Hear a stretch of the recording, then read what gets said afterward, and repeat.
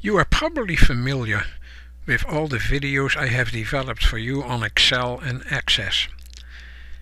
I have developed 244, so I am sure there are many of them that are appropriate for you.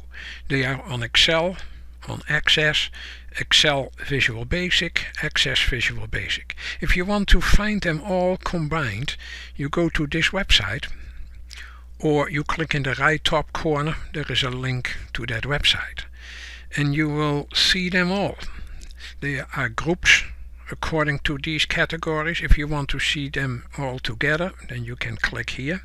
So if I go to um, Excel tutorials, I find a huge list.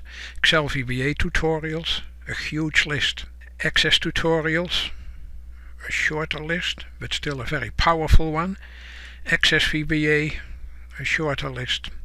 And again, if you ever want to find specific issues, you do Control F to find and you type what you want. Say you want to find what the index function can do for you and it will take you from video to video to video to video to video.